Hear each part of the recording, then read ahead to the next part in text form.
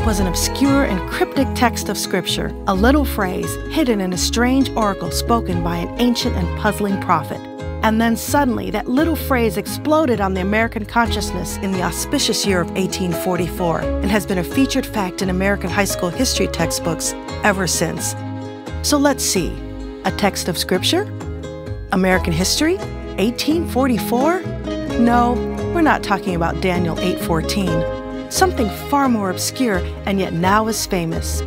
Buried in the book of Numbers, four little words that so aptly express the sum of our astonishment when there is really nothing else to say. What hath God wrought? What hath God wrought? Those are the words that Samuel Morse tapped out as the first official telegraph message ever sent, transmitted on May 24, 1844.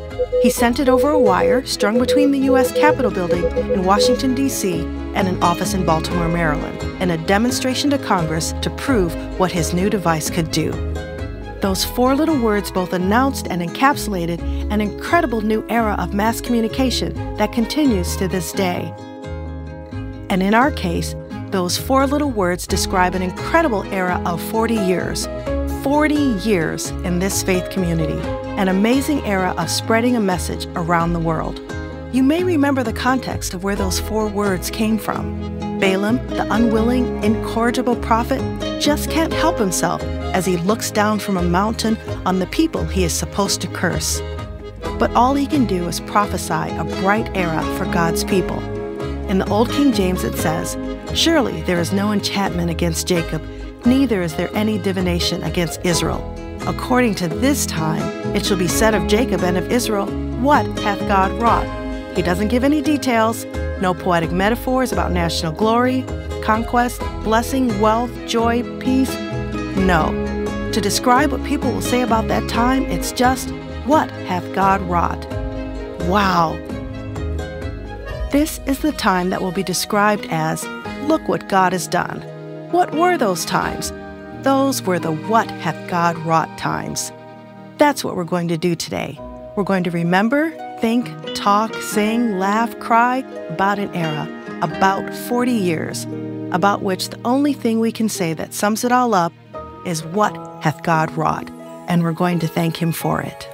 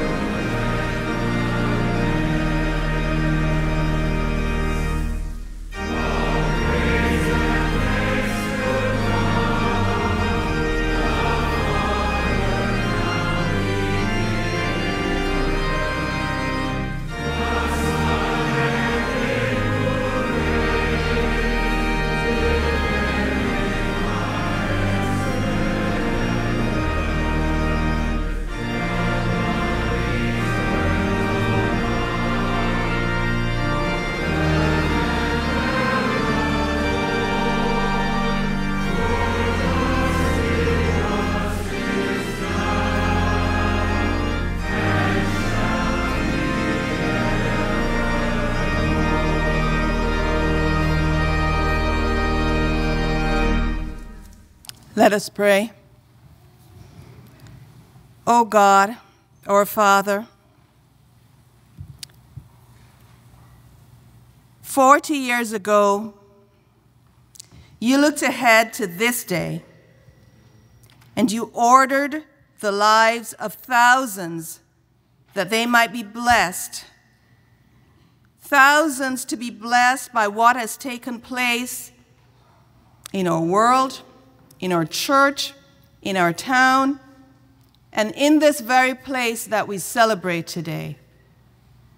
Through the life of one whom you raised up to serve you. We celebrate today, God, what you have done through this life. May everything that is said and done today be to your name's honor and glory. We pray. Amen. Please be seated.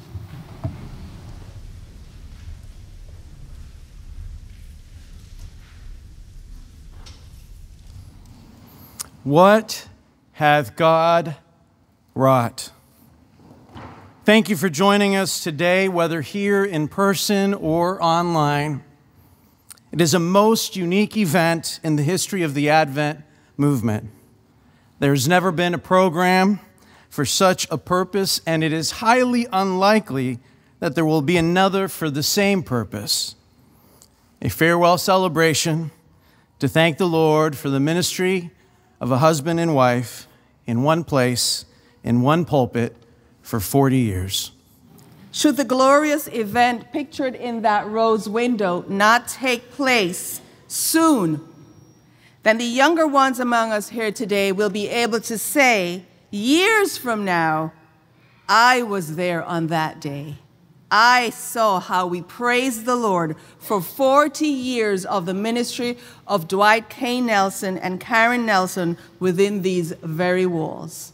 And that, ladies and gentlemen, is what we've come to do. As the old song says, I just came to praise the Lord. We just came to praise the Lord. We just came to praise his holy name.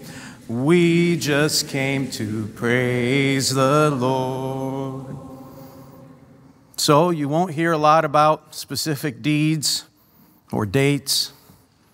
We will not relive a fact by fact history of Pioneer Memorial Church. We will not point out every detail or profile every person. No one will be profiled that was critical in the shaping of these 40 years alongside the ministry that we celebrate today. But we will do this. We will try to capture a little gleam, like the late afternoon sun coming through that window, of what God hath wrought. What wondrous things God has done in your life, in my life, in our collective life, here and around the world through the ministry of Pastor Dwight Nelson. Amen. More than 20 years ago, Pastor Dwight spoke three simple words to Pastor Skip and me. And the impact of those words continues to demonstrate how God has blessed many through Pastor Dwight's influence. Brian Wondropowski, Pastor Skip, and I had presented a Becoming a Contagious Christian seminar to more than 400 of our Pioneer members. At a staff meeting, Skip and I shared our evaluations. Our members had stated that they wanted to know how to specifically share their Adventist faith. Dwight said, Your mandate is clear create a seminar. Easier said than done. It took 10 years before the seminar material was created, tested, and published. But during those 10 years, God did a work in our own lives. Dwight has always modeled that we cannot effectively preach or teach what we have not experienced. So, in preparing this material for the seminar, it forced us to each live intentionally we learned to recognize and create contagious Adventist moments in our everyday lives. We dug deeper into the Bible to see the beautiful character of Jesus in each teaching. We documented how the biblical teachings had personally impacted us. We prepared ourselves for those contagious Adventist moments when the Holy Spirit would connect our stories with those we were trying to reach so we could connect them with God's story. It was an exciting way to live, and we were changed. I was changed. Pastor Dwight, thanks for inviting me to join the pastoral team in 1997. And thanks for those three words that commissioned the creation of the Contagious Adventist Seminar. In my work with the North American Division, this is the topic that I'm asked to speak on the most. It continues to inspire me and many others to live as contagious Adventist Christians every day. Thank you. In September 1996, I was a sophomore social work major at Andrews University. As I was sitting in Pioneer Memorial Church that second Sabbath of the school year, I remember that Pastor Dwight passionately shared a quote that deeply touched my heart as he preached about the needs in Benton Harbor, Michigan. He said we must come to the place where what breaks the heart of God breaks our hearts too. I immediately felt the tug of the Holy Spirit on my heart to do something for God. As the service came to an end, I looked around and grabbed five other friends and said, We have to go down there. After eating lunch, we started the drive to Benton Harbor. We prayed with so many people that day.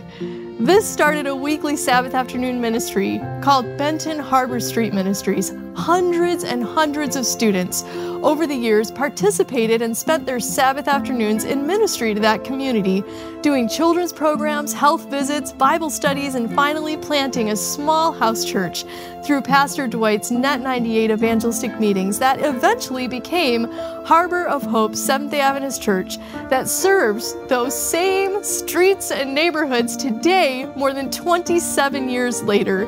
I want to thank Pastor Dwight for allowing the Lord to use him to speak to my heart through that sermon. My life was forever changed. Pastor Dwight, may you never lose your zeal for inspiring others to minister for Jesus. Thank you for what you did for me.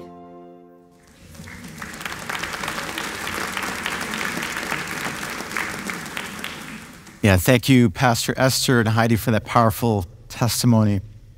Now it's time for a live poll. We want to find out just how well you know Pastor Dwight, and we want to find out the kind of impact that has had on your life as well. Here's what we're going to do we've got a series of questions we're going to ask, not all at the same time, don't worry.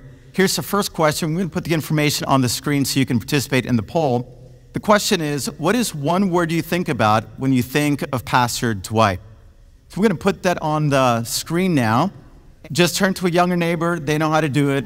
They'll, they'll figure it out for you and just ask for some help.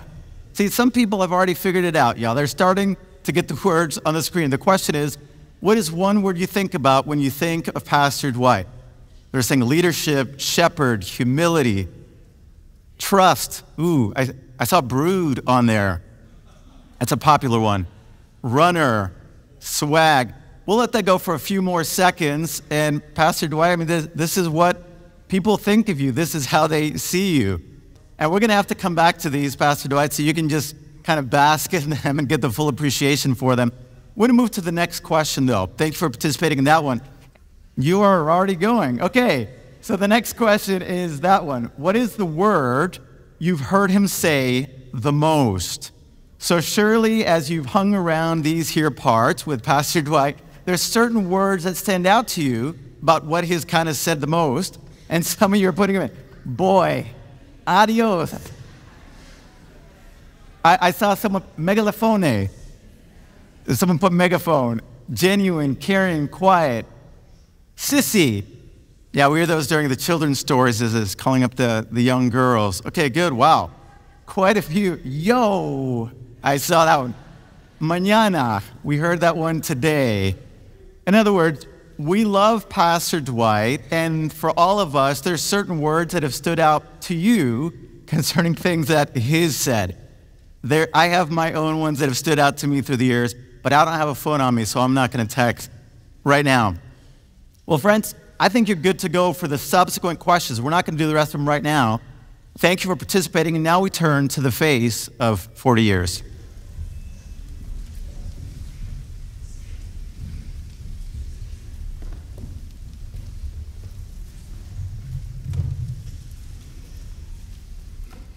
The man that God has given us is real, and he's sitting right here. But he's also in our imagination and memory, larger than life, both frozen in time and warm in the flesh. Over 40 years, God has blessed us with his ministry, your ministry, Pastor. He started out when he was 31, and he has been here for an incredible 40 years. And what do those 40 years mean? How can we quantify or visualize that sweep of history or bring it into mind? Most of us just have a piece of it. A few years in this town, a few years in this school or work. Maybe that plus many more years through seeing broadcasts and watching on the internet. Some few here today even have the whole thing right from the very beginning, from right here in this place. What does that look like? What did he look like?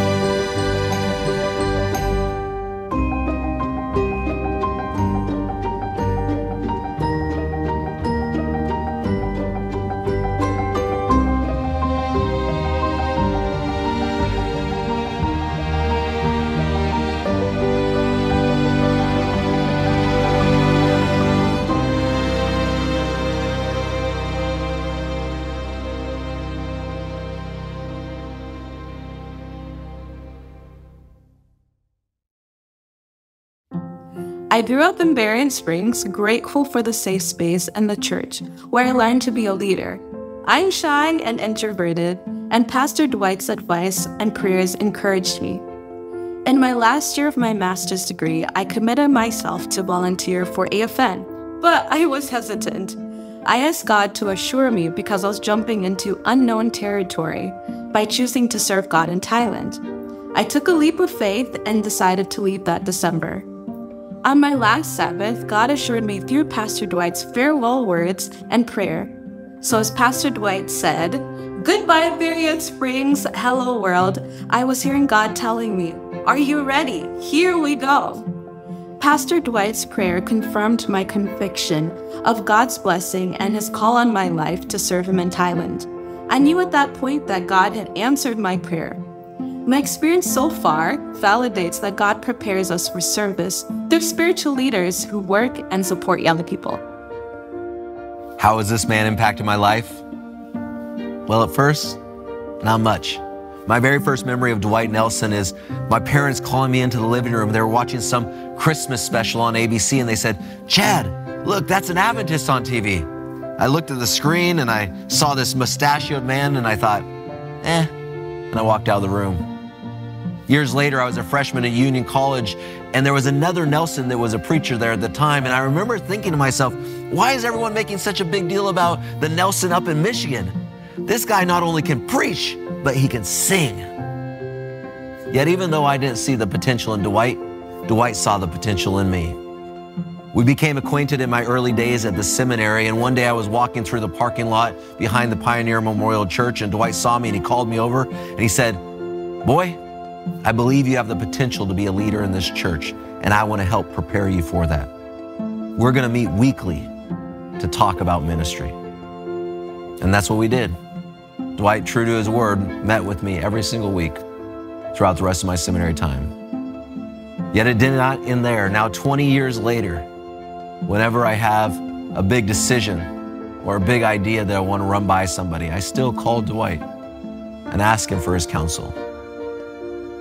Dwight, I thank you so much for seeing the potential in me all those years ago and choosing to invest your time and your wisdom into my life.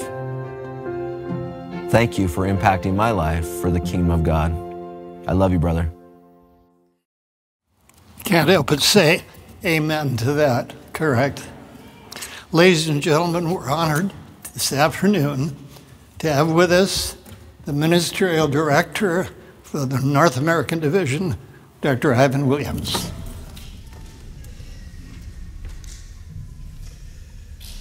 George Clemenceau, who was the former Prime Minister of France in the early 20s, said, There is no greater functionary than his or her function. Dr. Dwight Nelson, Pastor Nelson, you have functioned well. After preaching hundreds of sermons, ministering to hundreds of grieving families, and standing at the altar with hundreds of in love couples saying, I do and I will. After hundreds of meetings and over thousands of baptisms, I praise God today for your faithful function. I remember as a student being here in the late 80s in the seminary, and I must say your mustache was a lot thicker then. And of course, your hair was a lot darker. But if Moses were here, Moses would say, 40 years? Dwight, you're just getting started. You've got 80 more to go.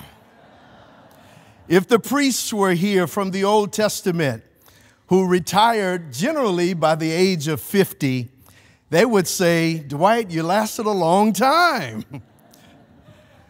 But I praise God today that Jesus, confronting one of his called disciples, Peter, on the shore when he declared to Peter, who used to speak first and pray second, he said, Peter, do you really love me? Then feed my sheep. Dwight, you have done a marvelous, faithful witness job of feeding the sheep. We give God the praise for your preaching, for your pastoring, for your mentoring of hundreds, yea, thousands of ministers who've come through the seminary while you were pastoring in the Seventh day Adventist Church. We give God the praise for all that you have done by not just speaking it, but by living it. I had the great privilege to get to know you and Karen over in an island called Palau. And Kathleen sends her love to you, Karen. And I just want to say, on behalf of 4,300 ministers in the Seventh day Adventist Church in the North American Division, how proud we are, how thankful we are. And hey, there are a whole lot of other ministers who need your mentoring. We give God the praise for your witness and we thank God for Him using you. And really, brothers and sisters, we will truly only know the impact of this ministry in the earth made new. Can we say amen for Dr. and Mrs. Dwight Nelson? God bless you.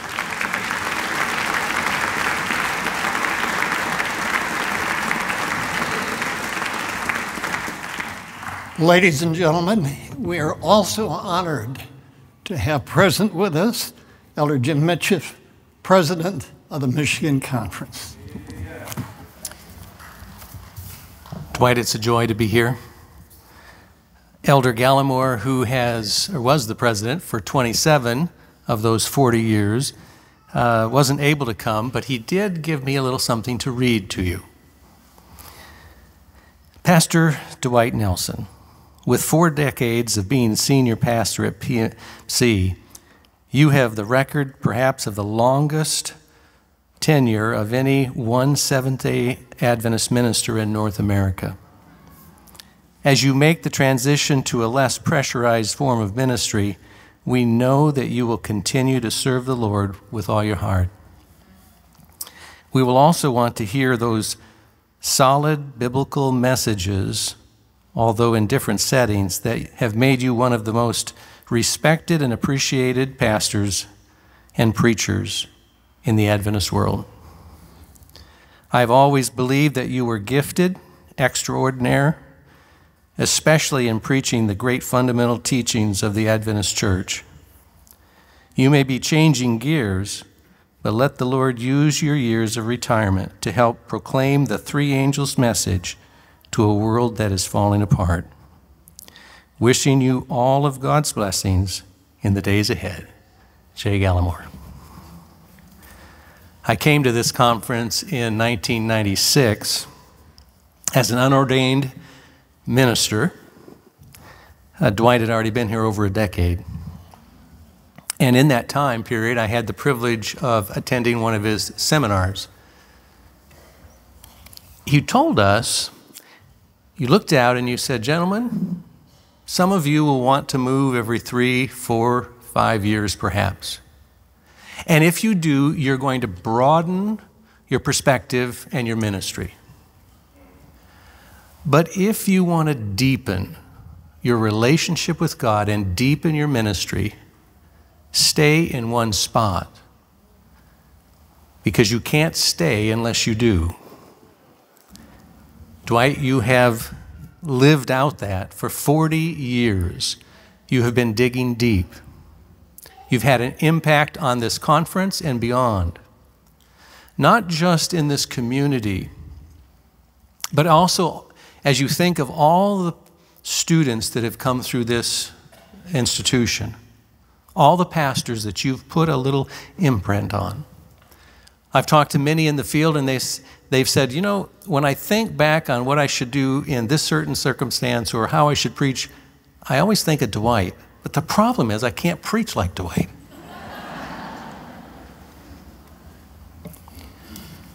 it's not about being like Dwight in his preaching. It's about being faithful like Dwight has been. God bless you. We do have a medallion that will commemorate your 40 years here in Michigan. We'll give it to you a little later. God bless you. The things that break the heart of God should break our hearts as well. Pastor Dwight, you spoke those words in the spring of 1998. Those words gave birth to a baby called Hope, Harbor of Hope. And here we are, 25 years later, and they still ring true today. For a city that was struggling under the stresses of economic hardship, bad politics, gun violence, and gang culture, hope is what was needed, and hope is what was delivered and is still being delivered to this day. It's being delivered in boxes of food, warm meals, community rallies, marches, mentoring, gardening, tutoring programs, Bible studies, the preaching of the gospel, and baptisms. On behalf of your Harbor of Hope family, thank you for inspiring hope. I personally want to thank you for your supportive leadership over the years. It's been an honor to serve with you. I've been inspired by your integrity, your wisdom, your self discipline, your courage, your love for Jesus, your love for Karen, your handwritten birthday cards, and your ice cream socials. As you and Karen transition to the next phase of your journey, keep hope alive, for the best is yet to come. In 1996, I traveled with Pastor Dwight to Belgrade, Serbia, the former Yugoslavia, where he preached a three week evangelistic series, preaching twice every day and three times on Sabbath. In the afternoon meeting, he would preach in the large communist hall where President Tito of Yugoslavia used to preside for 37 years. The evening meeting was held in the main Adventist church in Belgrade. We were told that the state police were among our large afternoon crowds to assure that Pastor Dwight wasn't preaching political messages promoting democracy under the guise of being there for religious purposes. That series resulted in a new congregation being formed in Belgrade. One thing that was embedded in my consciousness on that trip with Pastor Dwight, what you see in public is what he is in private, a fully devoted follower of Jesus Christ. At the end of those meetings, conference president took us to neighboring Kosovo that had recently been heavily bombed by Serbia, and it was nearly deserted. At one point, Pastor Dwight jumped out of the car to take some pictures of a man who was walking down a deserted road. The next we knew, the man was at our car with his gun stuck through the car window in a shouting match with the conference president. I was in the back seat, earnestly praying that God wouldn't let the innocent suffer with the guilty. God intervened, and the man backed off. The conference president told us that we could easily have been shot and killed that very day, right there. I love and admire so many qualities about Pastor Dwight, but the one I particularly want to note is his passion for public evangelism. Shortly after Lynn and I arrived here in 1986, he held a Life Spirit Evangelistic Seminar at Lake Michigan College. Over the next 20 years, he preached two evangelistic series in South Bend, including one in the South Bend Convention Center, a short eight-night series in Fresno, California in connection with the Evidence series he hosted for Faith for Today. He led a team of staff members and students to India for a series he preached there in 1993. And he was the speaker for the denomination's Net 98 series, which was uplinked simultaneously in 40 different languages to every continent on earth that I understand had some 15,000 accessions to our faith, including 100 locally. Nor was his evangelistic involvement limited just to his own preaching.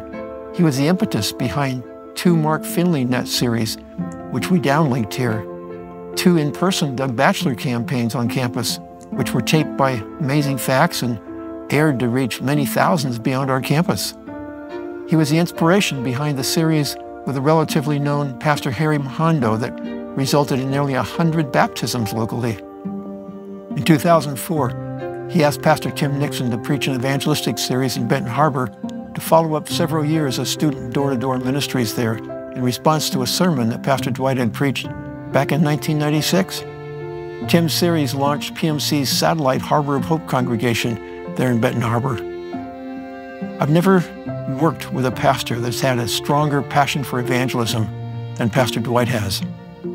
Both his recent evangelistic trip with his staff to Cuba and his recent sermon series on Mission Impossible, maybe, are reflections of his passion for the salvation of the lost. Pastor Dwight and Karen, we love you guys. And while you're officially retiring from your ministry here at PMC, you still have the Holy Spirit's anointing and I believe you have miles to go yet before you sleep.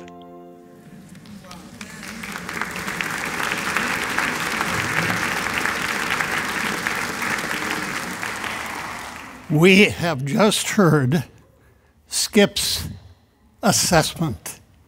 I've never worked with a pastor who has a stronger passion for evangelism than what Pastor Dwight has a man who has a passion for the salvation of lost people. We now have the Andrews University Singers under the direction of Stephen Zork giving us a powerful choral rendering of our Savior's command to do what Dwight Nelson has done for these past 40 years.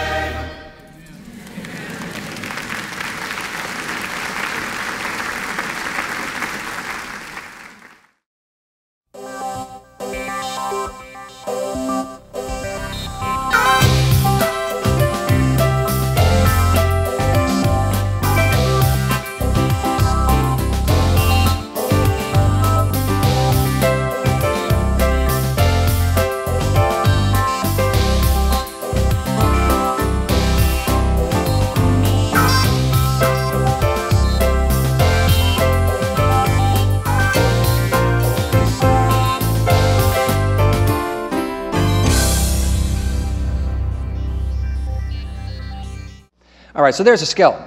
Why is the skeleton on this stage? The skeleton is on the stage because it represents a system of 206 parts. 206 bones.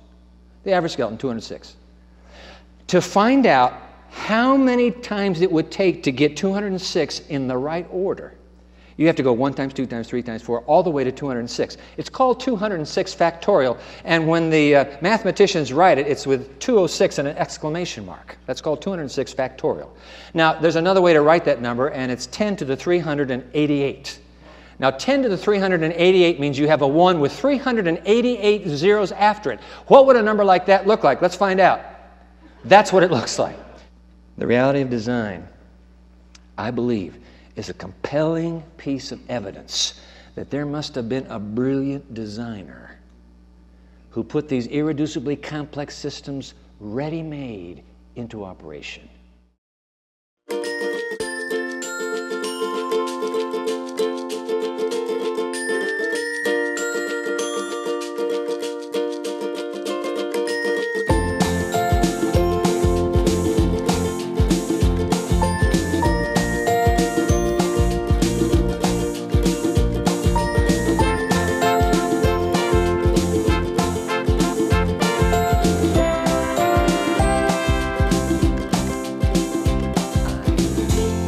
Gift of the seventh day, wherein the maker of all things who loves and wants you and me invests himself, embeds himself so that when you come to the day, you get the day plus him. Now may the gift of Christ's first advent, the glory of his second coming, bring the bright hope of God's new Noel to your heart and to your home tonight and tomorrow and forever and ever. Amen.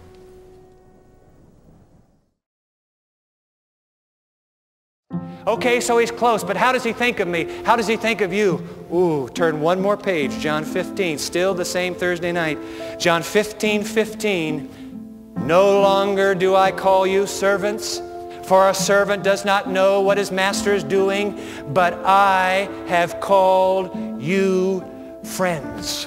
There it is, ladies and gentlemen incontrovertible proof that God is not somebody to be afraid of. He is someone to be a friend of.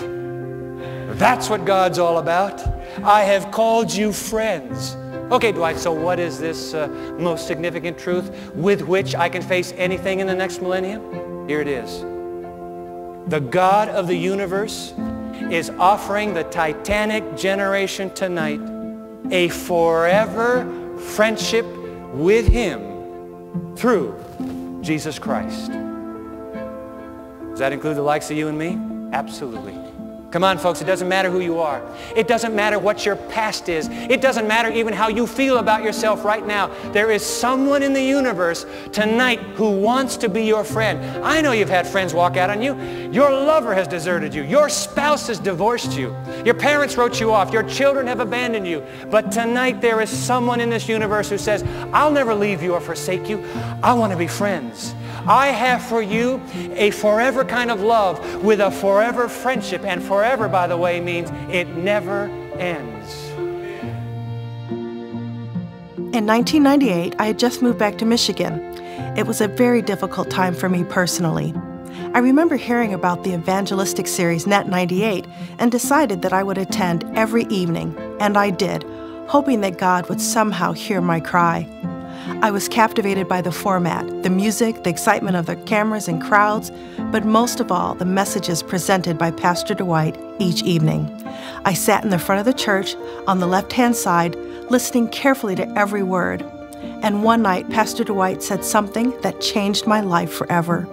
He said Jesus wanted to be my friend, that He, Jesus, God, was not someone to be afraid of, but someone to be a friend of. What? Pastor Dwight continued to discuss the relationship that Jesus wanted with me, a forever friendship. As I drove home that evening, looking at the stars in the sky with tears in my eyes, I imagined Jesus saying, Debbie, I want to be your friend. Don't be afraid. I love you. Thank you, Pastor Dwight.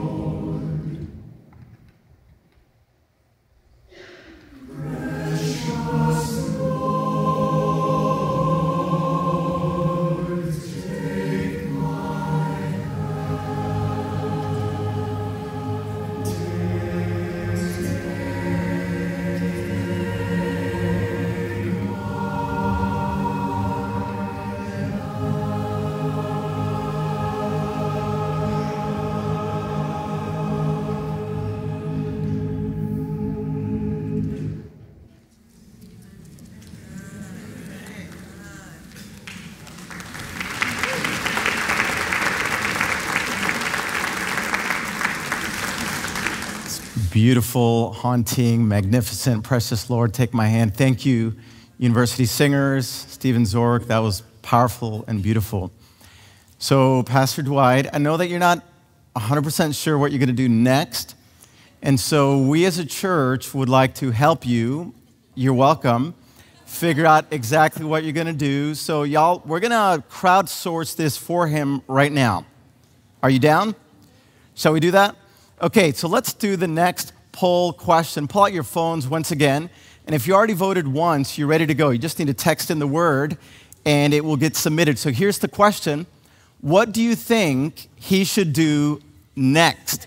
So as he transitions out of here, what do you think he should do next? And you all know what you're doing. You're texting away.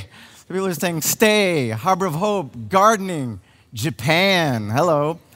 Chicago, okay. Bokic, not sure what that is. Ultra Marathon, Ironman, wow. I, I think I saw sailing in there somewhere. Marathon, I don't know if you're up for another marathon or not. We'll see.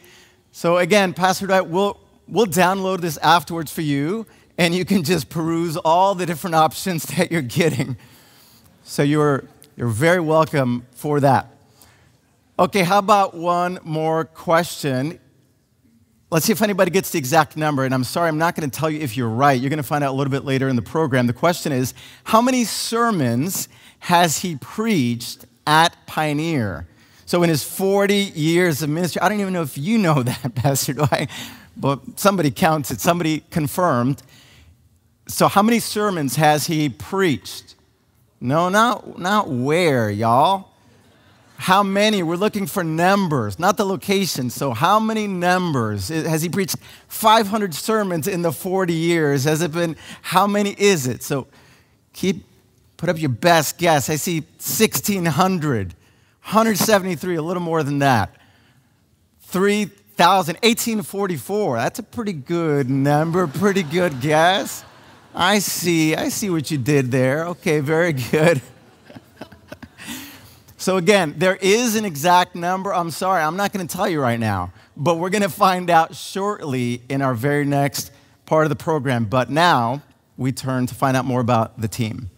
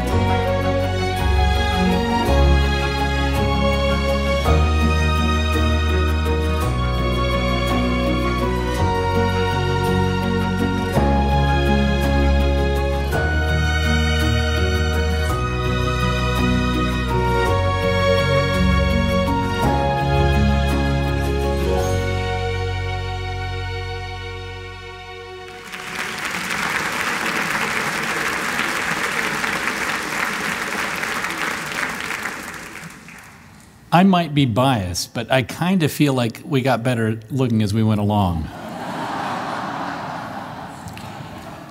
You've probably been thinking just at this service, there are a lot of pastors up here. Well, I'll be honest with you. It's our turn to talk. And we've got some things to share about you. The program planners have put us on a very short leash. They've made us stick to the script, and that's pretty hard. But it's probably a good thing because pastors aren't known for keeping it short. Well, Ben, maybe we would be here for hours, but they would have long since walked out. But we would have so much to say about the honor the Lord has given us and those before us in being partners with the man and the ministry that we are praising the Lord about today. Over the last four decades, there have been quite a few of us, as you saw in that video. And you can find a full list of all of our comings and goings in the program. And you all know that Dwight is a humble man and a very affirming leader. And so he would be the first to say, Team, I couldn't have done it without you. True.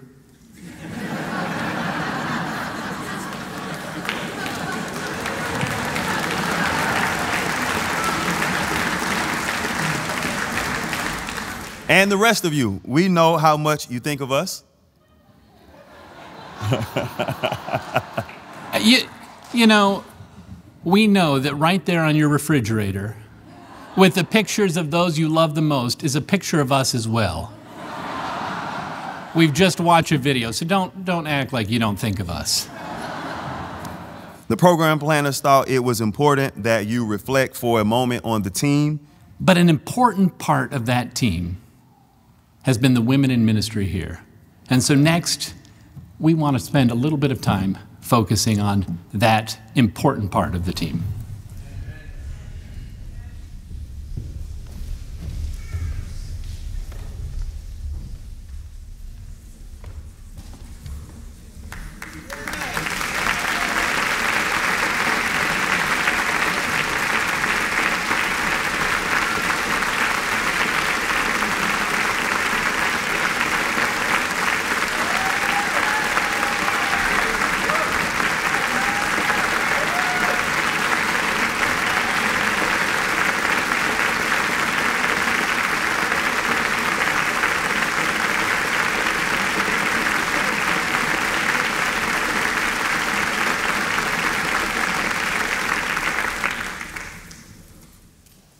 Well, I'm going to share with you about a time when Pastor Dwight made me cry.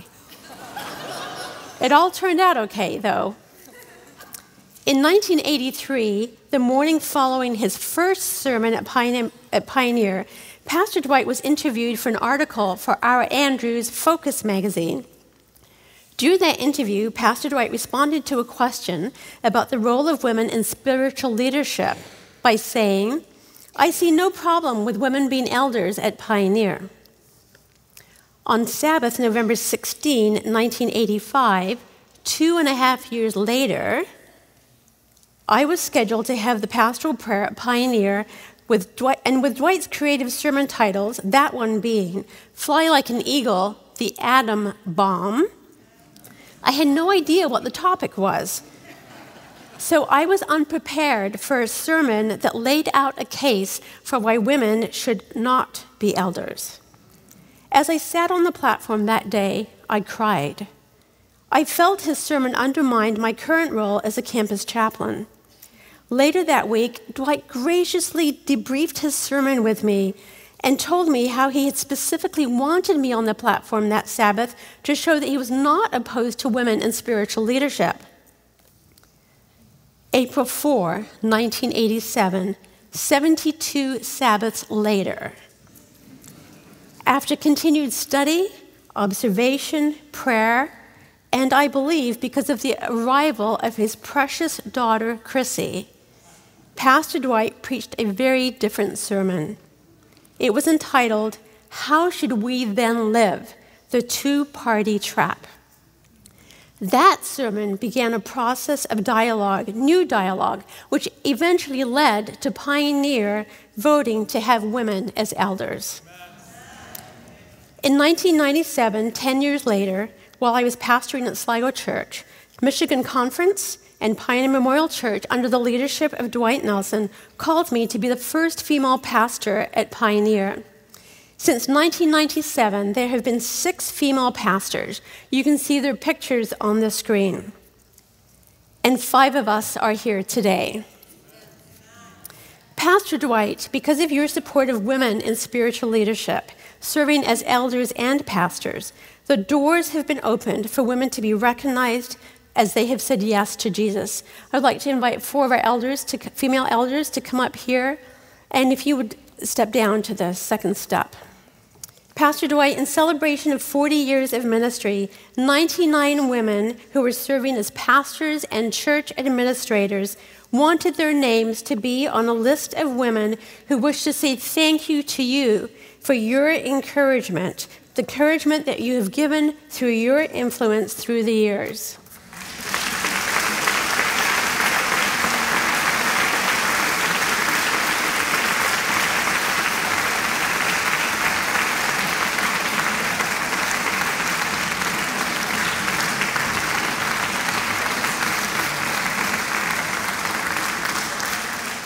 I think you get the idea. We knew it wouldn't fit in here.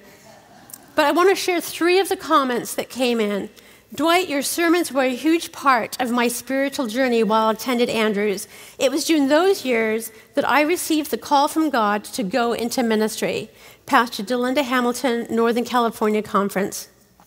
Another one wrote, In the fall of 2008, you preached a sermon challenging individuals to pack up their suitcase, laptop, Bible, and cell phone and come out here to Andrews University to be a missionary for God.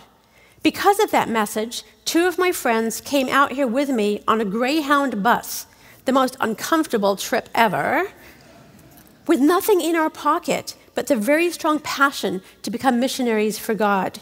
Look at me now, working full time for the church, God's church.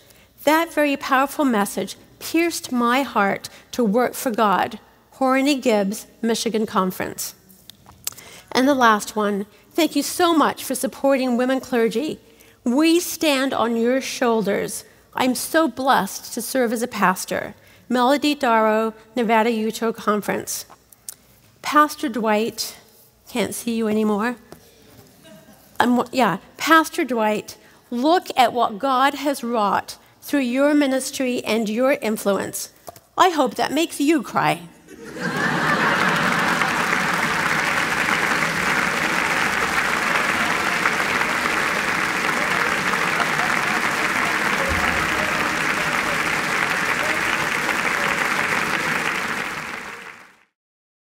I want to share with you a new way to pray.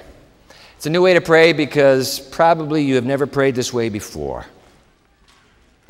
Whether you're, an, whether you're a millennial, whether you're a Gen Xer, boomer, senior, doesn't matter. A new way to pray. I've written a book entitled A New Way to Pray. Let me just summarize that in a few short moments. Here's step number six journal, journal your response. And this is where it becomes a new way to pray for you. Because most of you don't do this. I've been doing it now for a bunch of years. Now, me, I'm, I'm so old fashioned, I use one of these. You know what these are? These are composition books. Yeah, great little books. You can get these, you can get these at Walmart for 92 cents. 92 cents. You can get this at the dollar store for a dollar. Great. It's, that's true. It's a dollar. So that's where I get them. Save the gas. All right? I do it here. So if, if, if you're looking over my shoulder right now, you see, I write the date right here, and then I put the part of the verse that speaks to me. So I do that in red. So let's put that on. Do we already have that on there, date and verse in red? So that's what I do. You have nothing to lose. And I'm telling you what, you have everything, everything to gain. You'll never be the same again. Trust me. Ever, ever again. For 40 years, the Lord has given us a powerful public preacher. And behind the scenes, the Lord has sustained a powerful private prayer. Before he is a man of the pulpit, Dwight Nelson is a man of prayer. And from the pulpit And in public evangelism, as we've just seen, he has preached powerfully on what it means to pray. As early as 1984, just nine months after coming here, he preached a six part series from January into March on the premise of prayer, the priority of prayer, the pursuit of prayer, and the principle, the practice, and the promise of prayer. The very last night of NET 98, his topic was a new way to pray. In 2000, he preached a five part series on the prayer of Jabez. He preached an evangelistic series in South Bend with an emphasis on a new way to pray. And, of course, scattered through these 40 years have been single sermons on particular prayers in the Bible. And through it all, we've become aware of just how incredibly much Dwight Nelson is a man of prayer. During NET 98, he told us that he began the practice of prayer journaling in August 1986. That's actually the year month I was born. And by 1998, his prayers, as he told us then, had filled 50 journals. And he has never stopped. Now, we've only seen one of those journals when he preached about them during Net 98 and once again in 2018. 148 separate journal books. We've done some estimates, and we believe that it's somewhere between 20 and 30,000 pages. Of course, we don't know what's in those journals. We never will. We can speculate. Fervent prayers of hope, despair, triumph, fear, joy in his personal day after day meditation on God's word. Who knows? Prayers for this church, prayers for this university, prayers, prayers, prayers laboriously written out prayers known to no one but to God alone. Riley, of course, they are known to no one but God alone, because as we all know, God's the only one who can figure out that handwriting.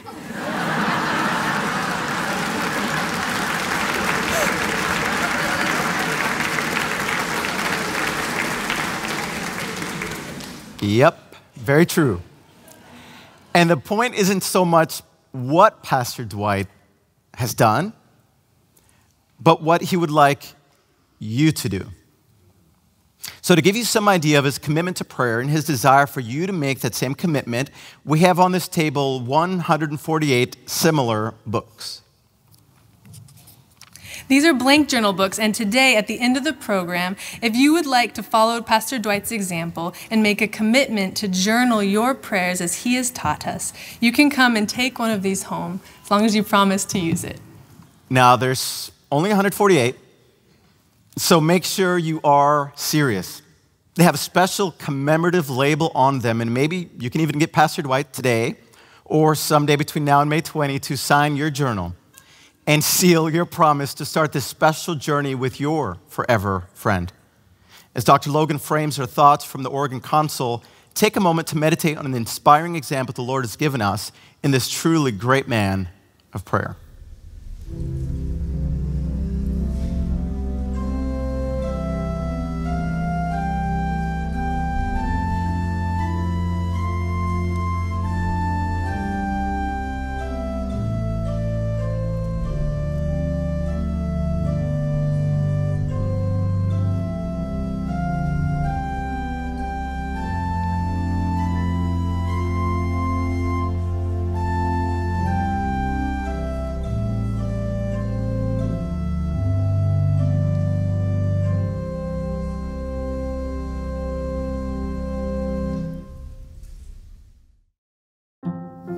Dwight and Karen, as we reflect on the legacy of your incredible leadership, two words come to my mind never and forever. We will never have another lead pastor that'll put up with the likes of us for 40% of an entire century. We will never have another pastor that will preach to us as many sermons, who shared with us as many stories, who made us laugh or tear up as often, or spend as much time dedicating our little ones or helping bury our loved ones. We will never, I believe, have another lead pastor who sings, well, okay, but whose lifelong spouse sings just like an angel. And we will never have another lead pastor as famous as you I'm not just talking about sermons heard and books read literally around the world. No, how on earth did Kellogg, a multinational company out of hundreds of millions of names, pick your name, Dwight Nelson, to put on the back of their cereal box? Come on, never again. But there's also a forever, of course. We will be forever grateful for your memorable ministry. Of course, we'll be forever grateful for you bringing our children and our grandchildren under one roof. And of course, we will forever be grateful for you leaving our sanctuary more beautiful and more comfortable. But what we will be forever most grateful for is the number of us, the number of our family members, and the number of our friends who will have a forever home in heaven just because you were so committed to hear and so faithfully share the quiet voice of God. Dwight and Karen, we love you dearly, and you loved us back. May God richly bless you both and bless the countless souls you have touched forever.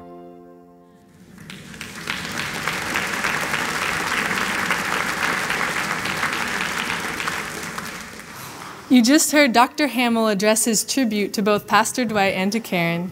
And that's so appropriate because we all know that Dwight couldn't have done what we're talking about today without Karen. And here's where Karen would jump in and say, You're right about that. So let's enjoy this next feature we've titled By His Side.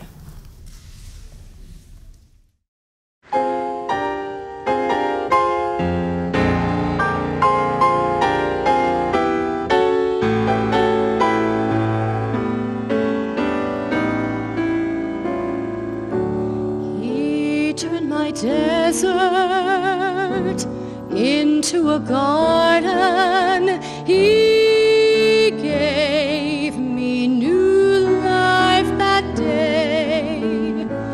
He brought refreshing like showers from springtime. He took my sadness away.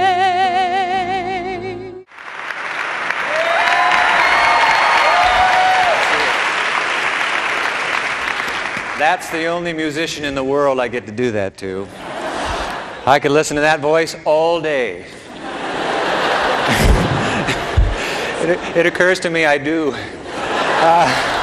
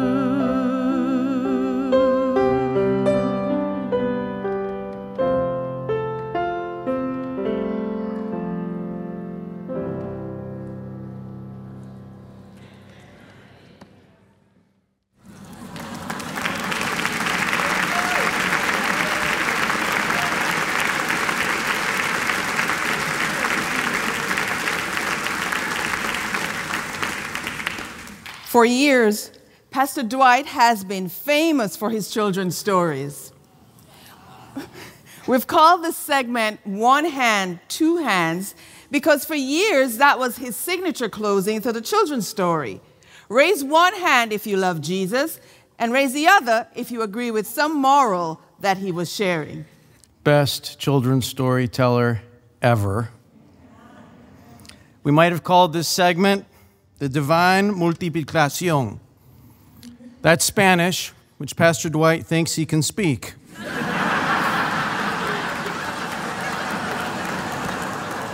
So I'll, uh, I'll translate that for you the divine multiplication because just as God blessed the boy with five loaves and two fish, the Lord blessed that boy right there, Pastor Dwight, to be able to multiply through the gift of the Spirit and imagination the slimmest set of facts that somebody found in some newspaper somewhere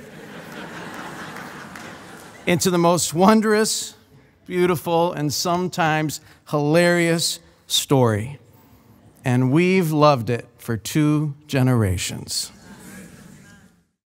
Hi, my name is Emmett, and I really liked Pastor Dwight because of his jokes, and I also liked how kind and friendly he is. Hi, my name is Arlo.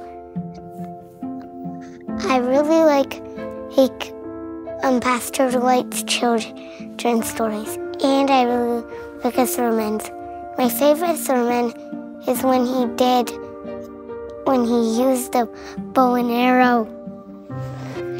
Pastor Dwight has been my pastor my whole life, and he, he was with us through COVID, and I really enjoy his children's stories and his sermons because he really um, tells us how much God loves us. When I was five years old, I told my mom that I wanted to be baptized by Peter the disciple. But since Peter the disciple is long gone, I told her that I wanted to be baptized by Pastor Dwight. And I hope you still will, Pastor Dwight, even though you're retired.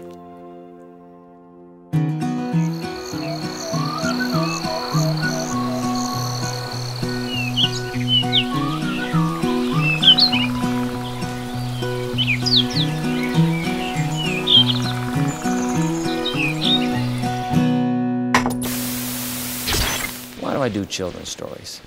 I love the children's story.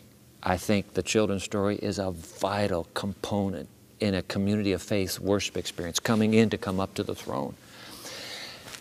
I, I, I want to share with you three reasons why children's stories are important to me. Reason number one, because my college pastor was a master at telling children's stories. I went to Southern College, John Lohr Sr. Uh, was our pastor. He was a powerful preacher. But he just, he took that children's story moment and melded it into the service. And I said, when I grow up someday, I want to tell children's stories like John Lohr. So number one is mentoring. And mentoring is important. If you can watch somebody else do it, that's why, you know, this, for what it's worth, this humble little DVD will have a few children's stories on it. You know, just watch. You probably learn more about what not to do, but at least you're watching somebody else do it. So mentoring was important to me. The second reason is I love kids. And I want children to, to know that worship is not just about big people, but worship is about a God who loves little people. And because I love children, I want the children to get the big idea. Now, when I teach preaching here at the seminary, I say, hey guys, ladies, every sermon has to be reduced into one single, simple, solitary, succinct sentence. It's called the big idea, Haddon Robinson's uh, concept, the big idea.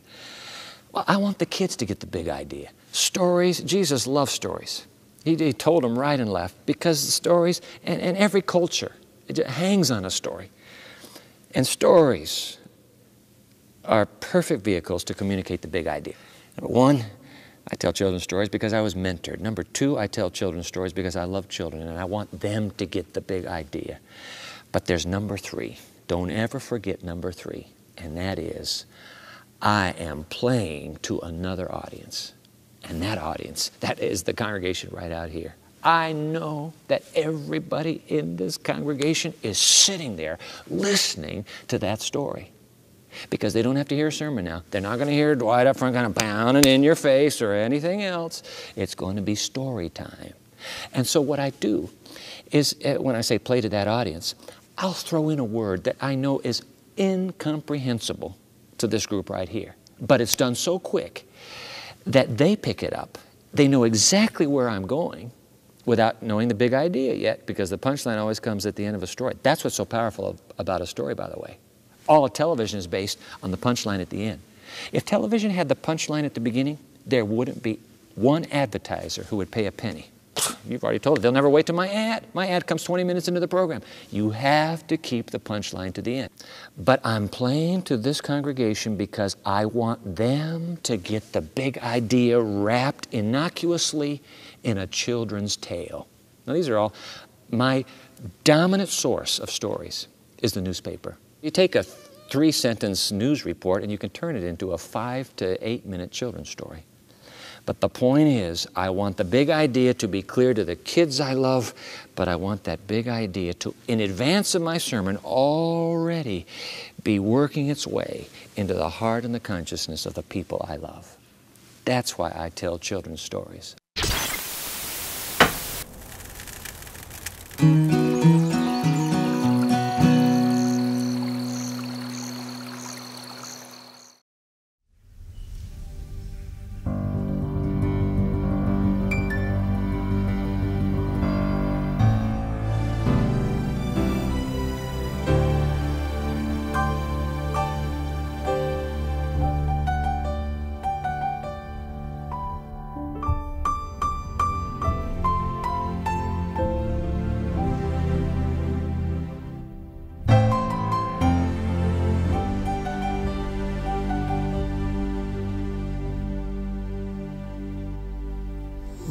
Pilgrims on the journey of the narrow road, and those who've gone before us line the way, cheering on the faithful, encouraging the weary.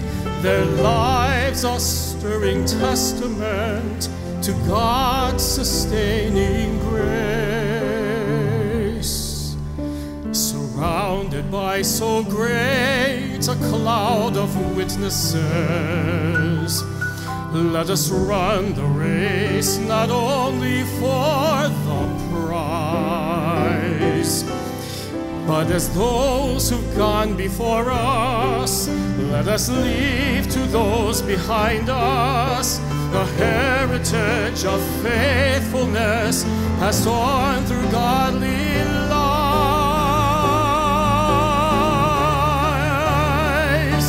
Oh, may all who come behind us find us faithful. May the fire of our devotion light their way. May the footprints that we them to believe, and the lives we live inspire them to obey. Oh, may all who come behind us find us faithful.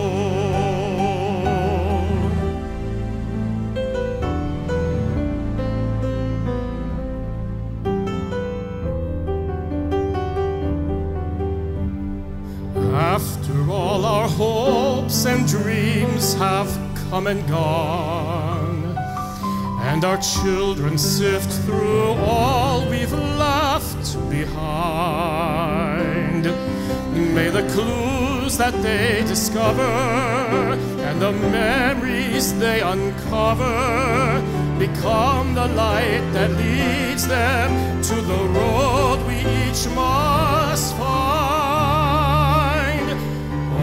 may all who come behind us find us faithful. May the fire of our devotion light their way. May the footprints that we leave lead them to believe, and the lives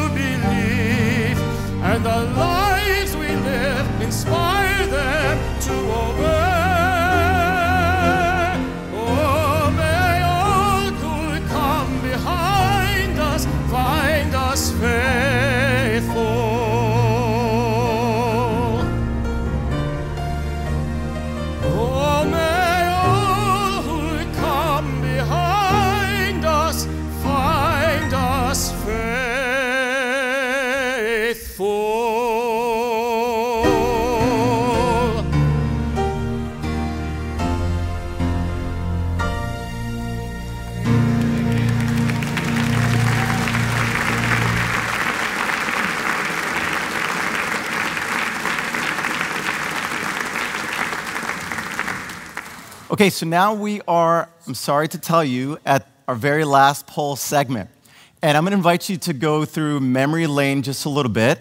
Here, we just have two questions left. Here's our second to last question. The question is What year did you first hear Pastor Dwight preach? So take a moment, think it through. Maybe it was on TV, maybe it was the, the net series. What year did you first hear him preach? We'll take a moment just to kind of view those years. So I see 1998, ooh, 1983. Some of you were here for that first original sermon. 1986, 2000. So we go quite a ways back among those watching online and amongst all those watching here. How many say amen? Yeah, to this continued legacy of many generations discovering the preaching of Pastor Dwight. We praise God for that. Okay, last question, and I have to give some direction to the last question, so please don't start submitting yet your answers to it.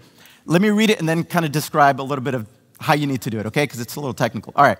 The question is if Pastor Dwight has, has impacted your life in a special way, including performing a wedding, baptism, funeral, or some kind of you know, special, significant conversation, please write in your name. But here's the special instruction put your first and last name together. If you put a space there, it's going to put it in a weird way, and it'll be a little hard to see exactly whose name is that. Unless you just want to put your first name, and that's okay too if you want to be anonymous. But if you want to put your first and last name in there, don't leave a blank between the first and the last name. Okay. See Chaplain Jose representing. We see those names Jonathan Burp, Bruce Babienko. So, again, I mean, lots of ministry has been impacted through funerals through the years, weddings, conversations after church, conversations in his office, conversations in the cafeteria, conversations as you've been running together. Some of you Friday evening, we heard Ashok's testimony about running together in those conversations. We praise God for that. Ooh, it's getting a little too small to report on now. Sorry about that, but guess what? That's actually some really great news, Pastor Dwight, because it simply means that there's more people here that have been blessed through conversations with you than we can adequately, adequately represent through this technology. So, how many say amen to that? Yeah, we praise God for his ministry, that, all those conversations that have had with so many of us through the years. And I want to invite you to turn your attention to the screen for the next video. Happy Sabbath, Dwight and Karen. It really is a temptation to tell a number of stories from our days as neighbors in Maplewood apartments, but I don't have time for that. Instead, I want to share a way that you really bless my ministry. Uh, the unity of the church has always been a theme uh, that I've heard you preach numerous times. And it was one day that we were speaking on this issue together, and you made the statement you believe that the Seventh Adventist Church should apologize to the African American community.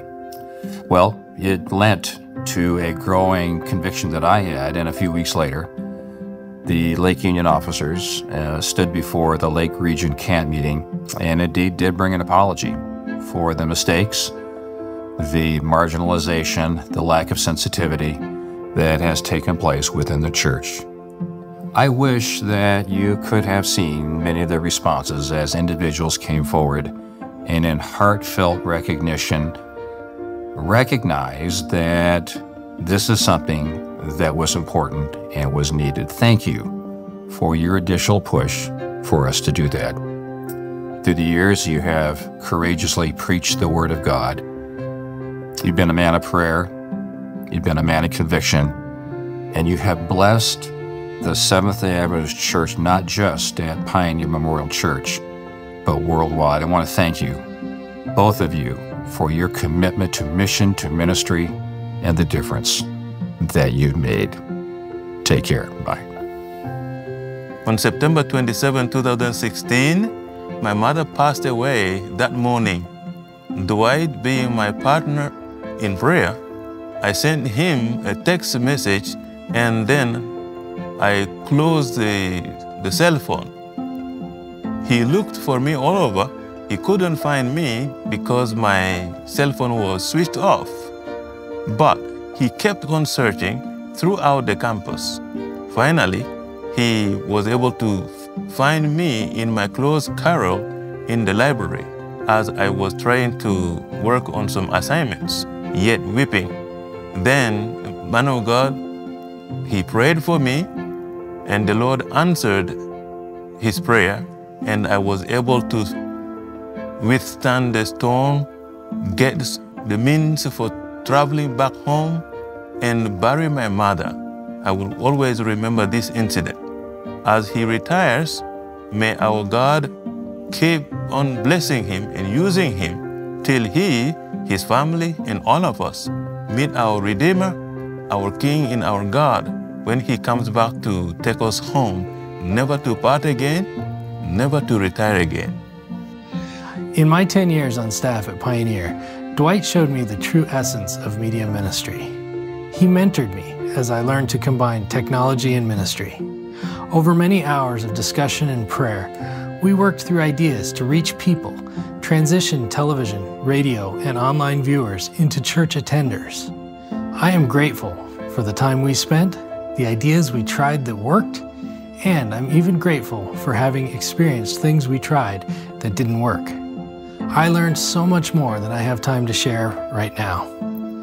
Philo Farnsworth, the inventor of the television, once said, Television is a gift from God, and God will hold those who utilize his divine instrument accountable to him. Dwight, I am looking forward to the day when we will see the results of the television, radio, and online ministry from your time at Pioneer.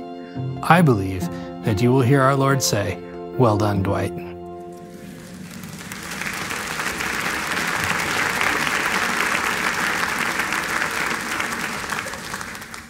In the Old Testament, there were three important roles prophet, priest, and king, all working toward one purpose. That was the Old Testament. In this new dispensation and in this special place, the Lord has seen it fit to organize us differently. Those three great authorities are reconfigured to the extent that is, first and foremost, God's University Church for God's University. There are two great authorities among God's people the pastor and the president. It is a special relationship that few can ever know much about. There have been six presidents since this institution became a university, and today we will hear from two of them. Ladies and gentlemen, please give your attention to the screen for a message from Andrews University President Emeritus, Dr. Niels-Erik Andreasen. Dear Dwight, when I first arrived at Andrews, you asked me if I thought you should buy a home in Berrien Springs and settle in for the long term with us. I have wondered all those years why you asked me that question. I also remember what I said in response. Yes, Dwight, you should buy a home in Berrien Springs, put down roots, and settle in amongst us. Stay in PMC and keep preaching to us. I cannot think of anyone during my 26 years as university president who took my advice so seriously and so literally as you did, almost to the point of abusing the privilege. Can you believe it? The university pastor listening to the university president. Seriously, Dwight, I appreciate your ability to renew yourself over these many years. The summers you spent at home reading books to make the winter sermons more compelling. That was good. It is what a university pastor should do. I also appreciate the thematic series of sermons on religious and social issues we all needed to hear. Once, someone asked me why I was not more visible in front in the church. I replied, no, the pastor should be seen and heard in front in the church, not the president. In this church, there are no university presidents, no vice presidents, no deans or chairs, no staff persons or supervisors, no directors, no custodian workers, nor campus maintenance staff, even no students. Because on Sabbath, we all sit next to each other in the pews as brothers and sisters, equally fellow believers. No one gives orders in the pews on Sabbath. No one must respond to those. No one has to sit in front and no one in back. The church pew on Sabbath is the great equalizer in our faith community. This is the house of God. The pew is our place. The pulpit is the pastor's.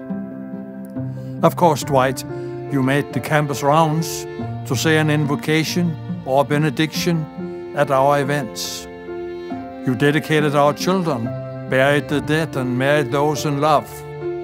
The University Church also served as the campus chapel, and you served as PMC pastor and senior university chaplain as well. That is the right way. Thank you. And finally, Dwight, thank you for your many, many sermons.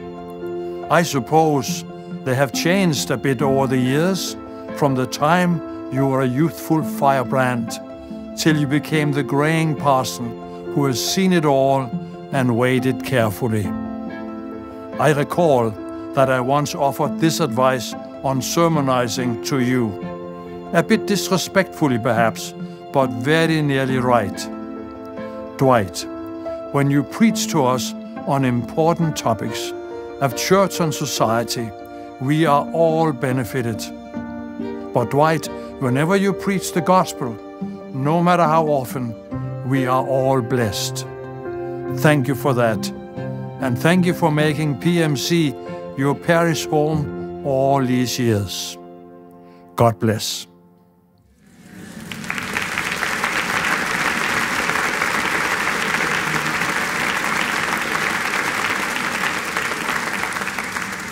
This afternoon, I have the honor and privilege of welcoming Andrews University's current president, Dr. Andrea Luxton.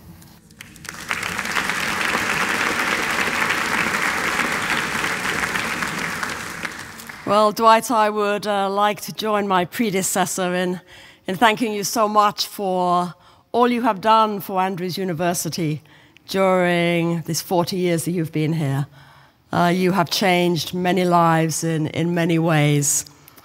And later on, I'm going to be giving this to you, but what I say now, I'm going to say around my description of, of, this, of this medallion we're going to give you.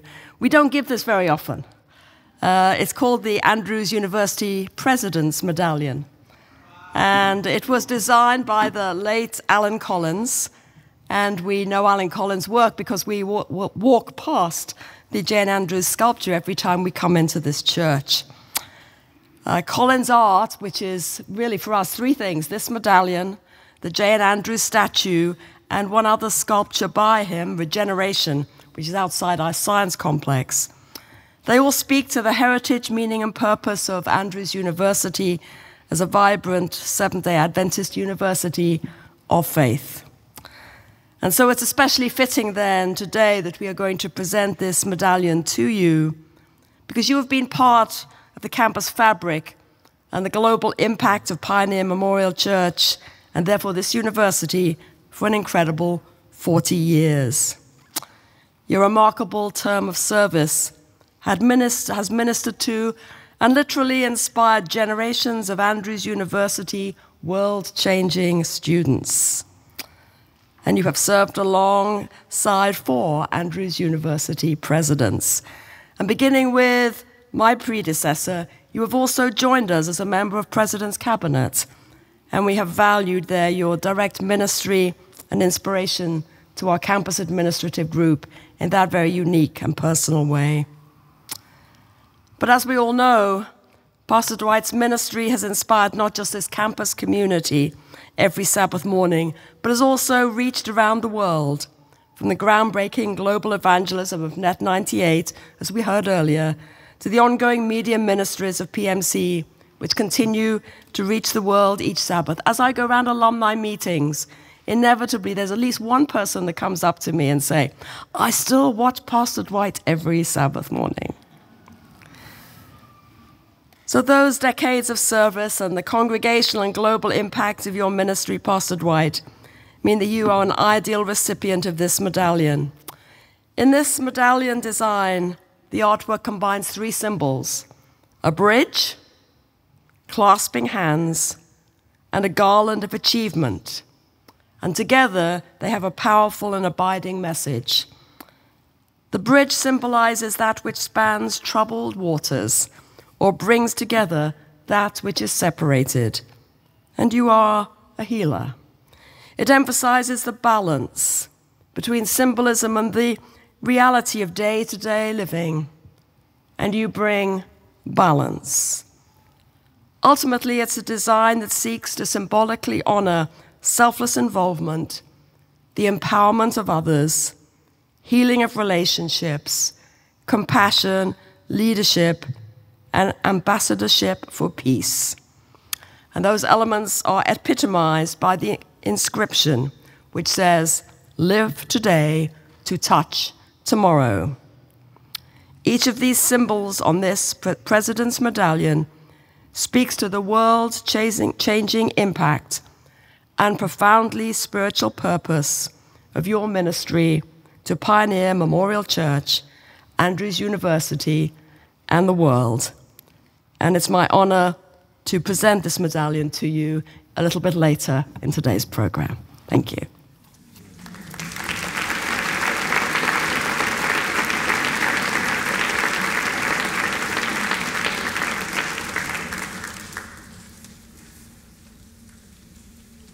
There, of course, could be many stories about the beginning, and this is just one of them. I was surprised that Grady Smoot seemed so intent on telling me how he had worked hard to get Dwight Nelson here to be pastor at Pioneer Memorial Church. I was 24 years old, the youngest staffer in the public relations department, and Dr. Smoot was the president of Andrews University, and so I said, Yes, sir. It was, 19, it was September 1983, and Dwight had been preaching all summer long since his first sermon the previous May, and by September it was clear to everyone that he was a hit. And, ladies and gentlemen, if this were a worldly audience, which it is not, and if it was anybody else telling the story, they wouldn't say he was a hit. They would say he was what would they say? He, uh, he was a rock star, and he really was. Except um, because I'm the one telling this story, Dr. Luxton and Elder Mitch, if you can be sure that we're going to stick with hit. it was. Um, it was at the end of some employee social event in the cafeteria, and Dr. Smoot ushered me into the faculty lounge, which was then on the lower level of the campus center, and we sat in a couple of high back chairs. And he told me that when it was clear that the previous senior pastor, John Cronky, would be leaving, that Dr. Smoot called up a homiletics professor in the seminary and asked that teacher of preachers who the best and brightest young preachers were that had come out of the seminary in the last few years. And somehow, as a result of that conversation and ensuing dialogue, Dr. Smoot had a name but that is all he had. He had a name, and he needed to see the man in action, but this was before the era of sermons on YouTube or all of the other previous technologies that you could go back to all the way to the cassette tape, for those of you that know what it is. And uh, that wasn't good enough for Dr. Smoot, and so the president of Andrews University got on a plane and flew to Oregon and showed up at the East Salem Seventh day Adventist Church on a Sabbath morning. And he wanted to just slip in and out unnoticed. He didn't want that man on the platform to know he was there, and particularly, he didn't want that young man to know why he was there. He wanted to have no interactions with him whatsoever. And when the sermon was over, he tried to slip out a bit and sort of managed and got out pretty much unscathed, except there was one awkward moment of brief eye contact, and Dr. Smoot turned away and quickly got away and made it back to Berrien Springs. But he had his candidate. And of course, he consulted with the president of the Michigan Conference, who made his own trip to Oregon, and with the other officers of the con- conference. And it became very clear to them that they had their man. But it also was very obvious to them that they had a very young man, 30 years old. And as they prepared for what would be a very important meeting with an important group of people in a big Sabbath school room downstairs, they knew that they were going to have quite a challenge persuading a staid and steady and sober church board or board of elders that was used to a certain style of mature leadership for the previous 17 years to suddenly turn this great tradition oriented university church over to someone who had only been out of the seminary for seven years, who was pastoring some smallish church in Oregon, who was 30 years old. And the Lord pulled it off. There were, of course, some die-hard skeptics, but they at least could be mollified a bit by the fact that by the time Pastor Dwight would preach his first sermon, he at least would be 31.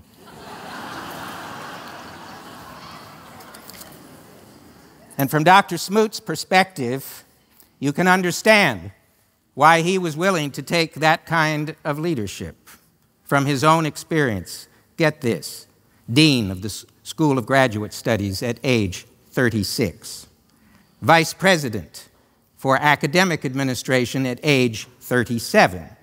President of this university at age 44, the youngest president this institution has had since it became a university. Armchair academic pundits and educational historians like to talk about the legacies of university presidents. And Dr. Smoot's was huge in so many ways.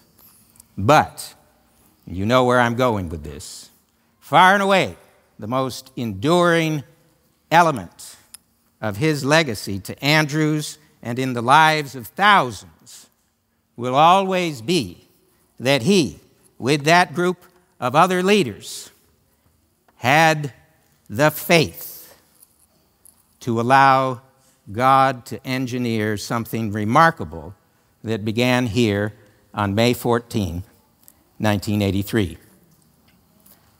Now, that was an important day, and there were a lot of interesting things about that day, and I thought, I thought maybe, maybe we could have a little bit of fun with one of them. Because on May 14, 1983, Dwight Nelson rose, here we go, for the very first time from this very minister's bench to preach his very first sermon as pastor of this church. He was sitting right here in this very place, right here, right here. Get it? This was it. This was it. Right there. On that morning, this bench was over here, right near the end of the piano. There was another one exactly like it over in front of the organ facing the piano. And in 1983, this had been the official minister's bench for this church for 24 years since this sanctuary opened in 1959, and Dwight used it for 15 years himself, this official minister's bench, until 1998 when this platform was entirely remodeled. And this bench, which by then had been the official minister's bench for 39 years, disappeared. And it hasn't been back on this platform for exactly 25 years until three hours ago. Ooh. Ladies and gentlemen, we have to do something about this bench.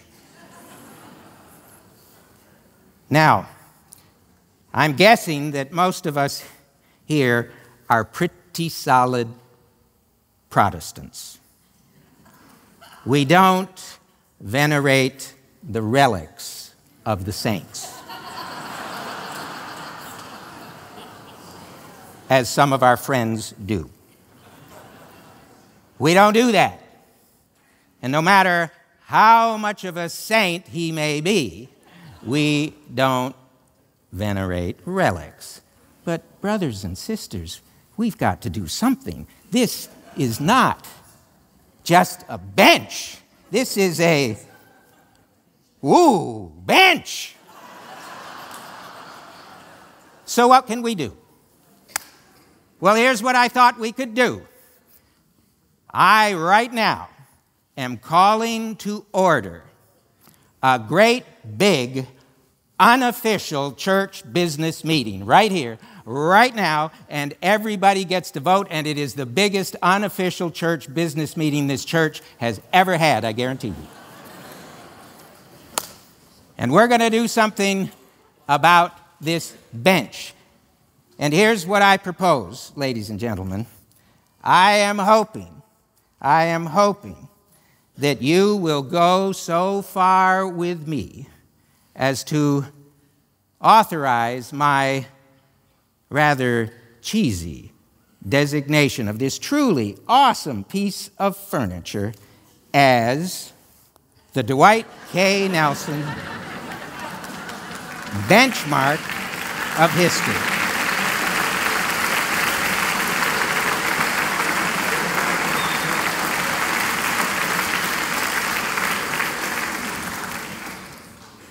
I told you it was cheesy.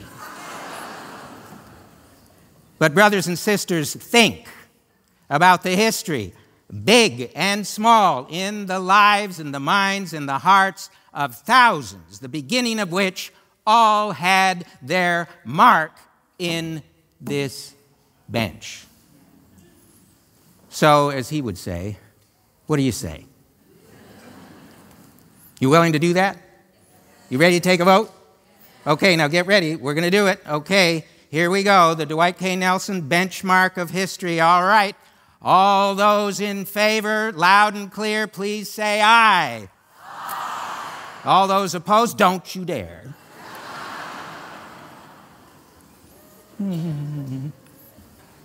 the ayes have it.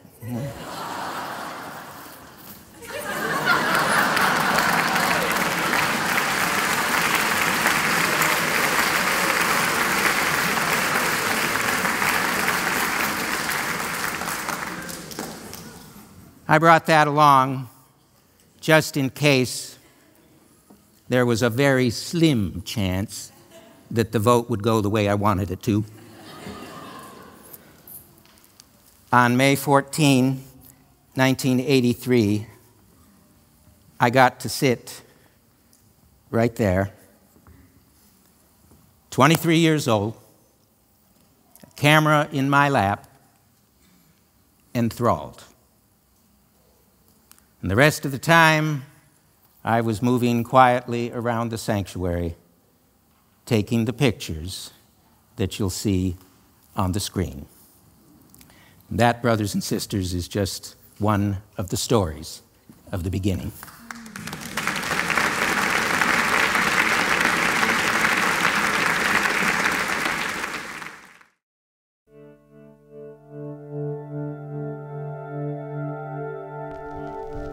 A church school teacher once asked a class, Can a leopard change his spots? The whole class shook their heads, except for one little girl who nods. And so the teacher asked the question again Can a leopard change his spots?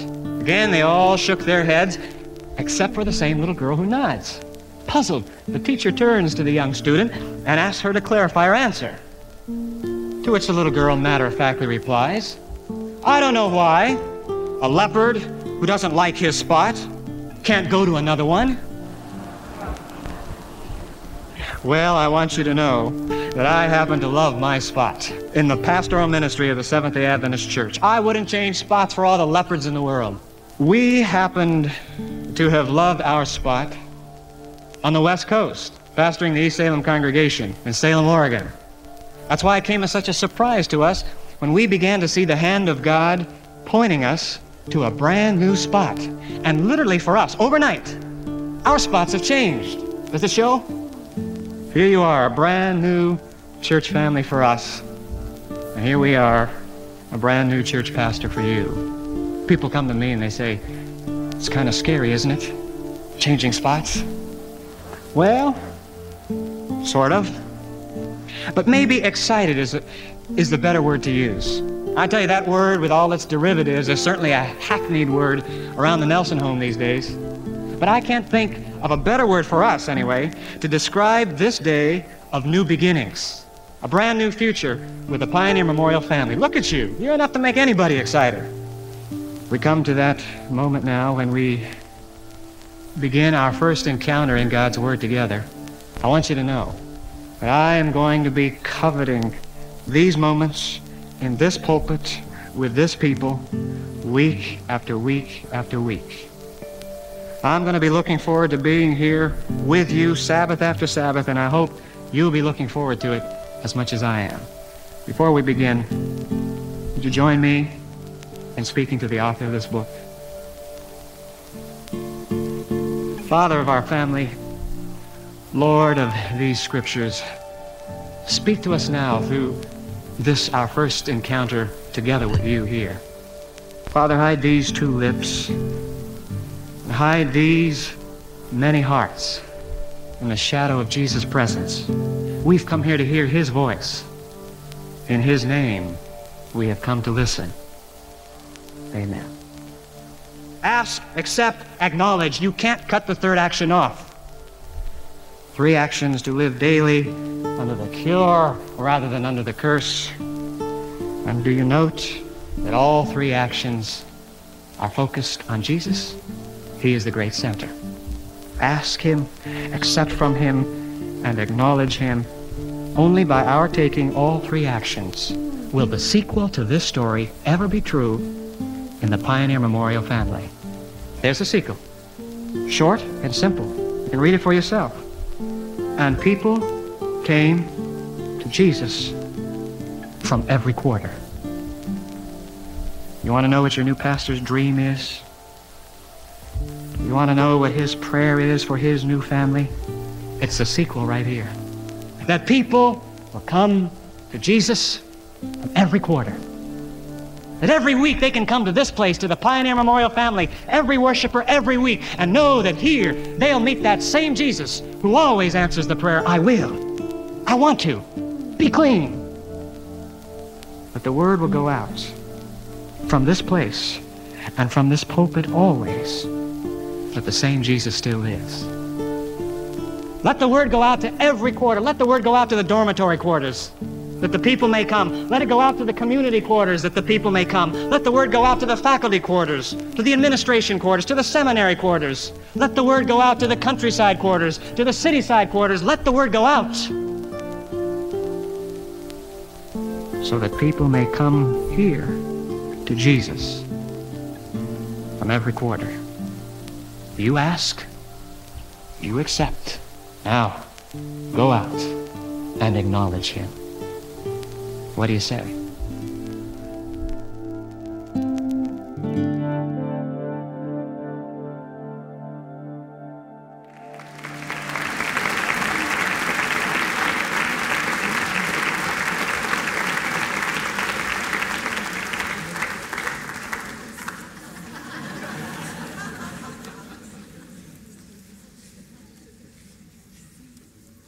That was the first message. And I'm going to go a little off script because this is what I've learned from Pastor Dwight. You can do that sometimes. Go off script. The fact of the matter is that the gift that Pastor Dwight has and the opportunity that this church and this campus has enjoyed for these 40 years is not because of what he possesses on his own, but because of the blessing that God has given. We really do celebrate God today.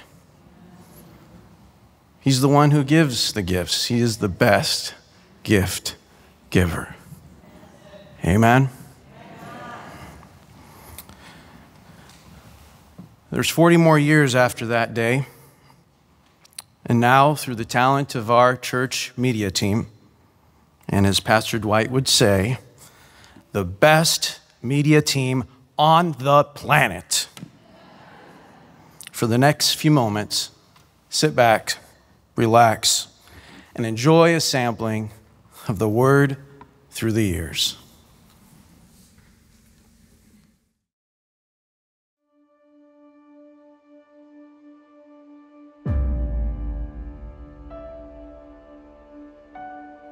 Now, I can only share with you my personal convictions, but I believe they are convictions that are growing when I say that there is a new wind blowing.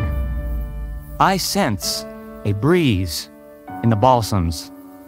On Tuesday, I had dinner in the cafeteria with a dormitory student. He was sharing with me the story of his life and his convictions about this, his second year on this campus. And he spoke about a new wind blowing. I was visiting last week with one of our student leaders. She was excited. One of the staff of Andrews two weeks ago was telling me he was excited. This last week, October 5, Student Movement headlines Essay Handshake was totally wholesome. I think things are different. There is a new and different spirit here, and a longing for a more wholesome experience, a deeper spiritual commitment, and a stronger sense of purpose for why we are involved in Christian education.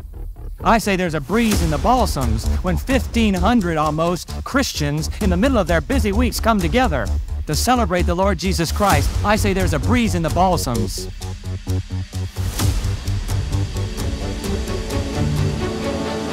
Putting Jesus in your skiff doesn't take the storms out of your life, doesn't mean you're going to have a cloudless sky and a stormless ride to life. Not on your life. Faith does not eliminate the storms, it eliminates the fear of the storms. If you invite Jesus into your life on a daily basis, I know the demons we struggle with, but if you'll invite Jesus in, your soul becomes a fortress, and that fortress is impregnable to Satan. And I say that's good news. What do you say? Our youngest members are our greatest mission, period. I defy anybody to find logic that will gainsay what we just shared. The youngest members of the church are the greatest mission of the church. Period. Period. Period. You know, there are times in your life and in mine when we those tears, those salty tears, trickle out the corners of our eyes, and we're staring at that blank, dark ceiling in the midnight hour, and we feel so God forsaken and all alone, and we're sobbing to ourselves, and we're asking, Is anybody out there at all? My friend, He not only hears those sobs, He not only feels your saltine tears, He is watching you as you cry. You're not ignored by God when you're going through that crisis. Some of you are going through a terrible, terrible chapter in your life right now, and you're saying, There is no way I can make it. My friend, God not only hears your sobs and moans and groans, He sees you. Therefore, if the second coming of the Holy Spirit is what stands between us, between you and me, and the final chapter of Earth's history, I ask you, in the name of God, I ask you, why are we not begging and pleading for that outpouring?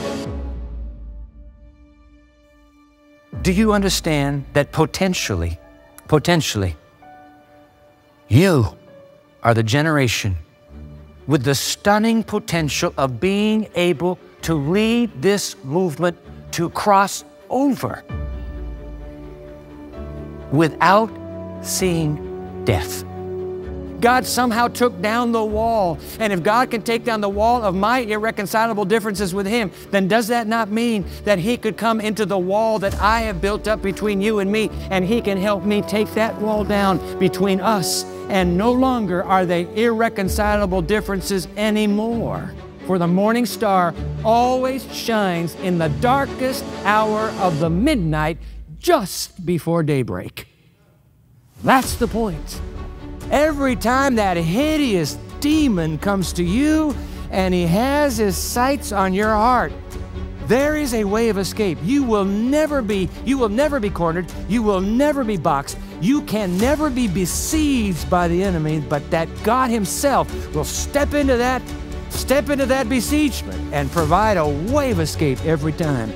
I'm praying to God for 100 pleaders. God, just 100 pleaders on the campus of Andrews University, Berrien Springs, Michigan. 100 pleaders who every day say, please, please, baptize me today.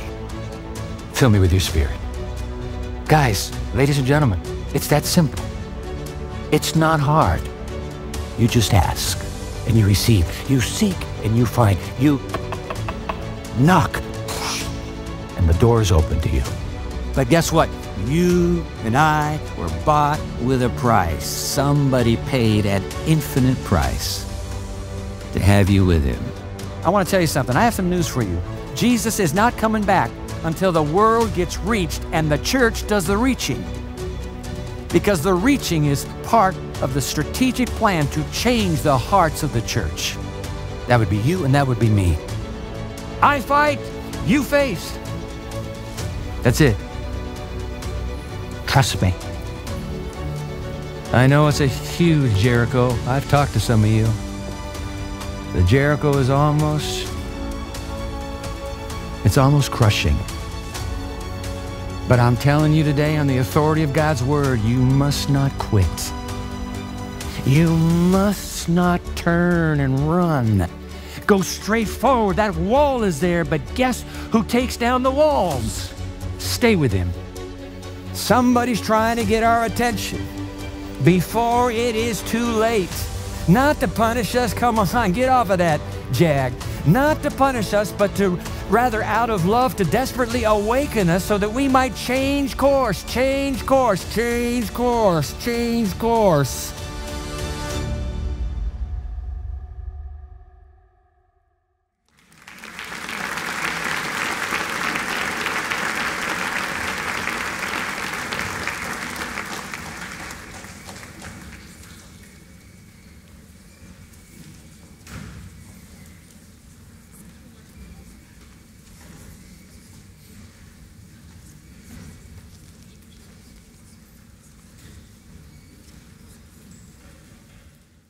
Pastor Dwight and Karen, I invite you to join us on the platform, along with all the former and current associate pastors.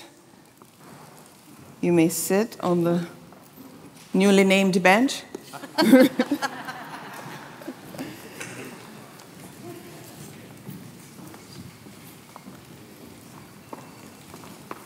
what God hath wrought.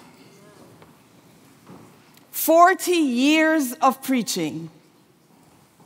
You heard some of it. You've experienced some of it yourself right here. And we're going to be looking in a little while at the song, but you have it here on page seven in the, in the program. I'll read the verse for you. So, for this shepherd, now to you, we raise our voice in praise for him who reached for all things new and preached your ancient ways. I'll tell you what, Pastor Dwight figured something out early, and I didn't know that it was something that was from the very beginning till I just heard it now. He understood Joel 2:28, where it says, "Your sons and daughters will prophesy." some of his best inspiration points came after he talked to the college students. He'd brood over that with Jesus, hang out in the text, bring it here. The young people, our college students, the Spirit moving in them, moved in his heart, and we were all blessed. It's how you stay current, it's how you stay fresh. A few years ago, I remember you started that advisory of college students, kept leaning in to their voice. Intergenerational ministry is the best. Week after week, year after year, sermon after sermon. How many? We counted them. Didn't we, Pastor Jen? We counted them. We did. You ready to hear the number? It's not 144,000. And it's not 1844. And it's not 1844. The number of sermons, 1,154 messages. Amen.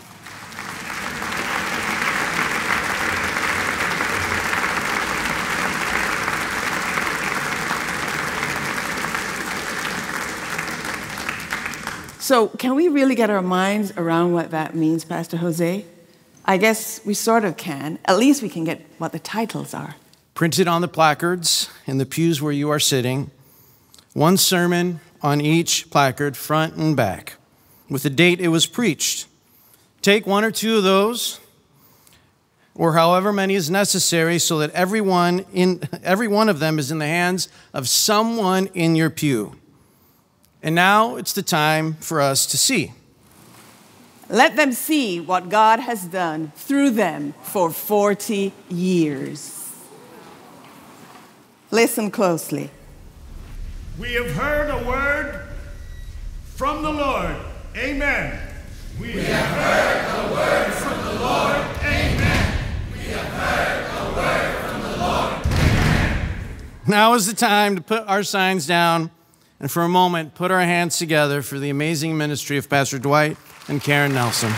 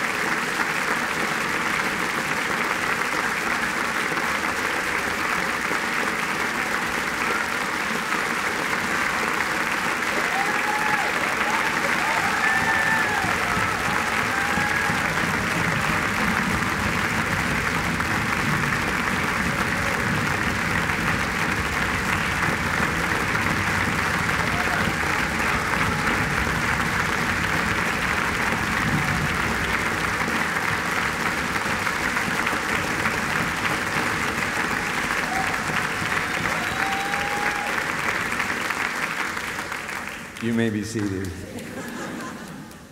Uh, I tell you what, we're both speechless. It, it's just, I don't know what to say. I've been thinking for eight months now. Well, when you come to that, that last moment, and as, as uh, Rodney pointed out, that'll be May 20 and May 13. But I've been thinking, what, what will you say?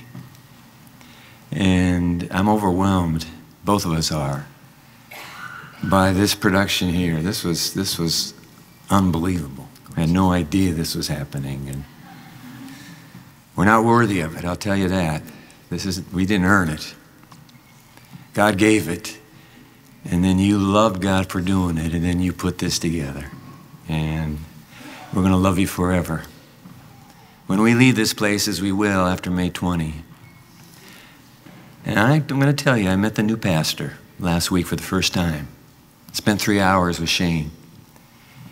And I assured him, You are taking over a congregation that you are going to fall in love with, and a congregation that will fall in love with you.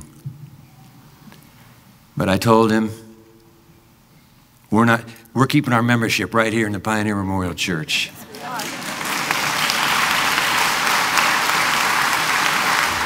We're keeping our membership right here in the Pioneer Memorial Church, but we're going away for a year.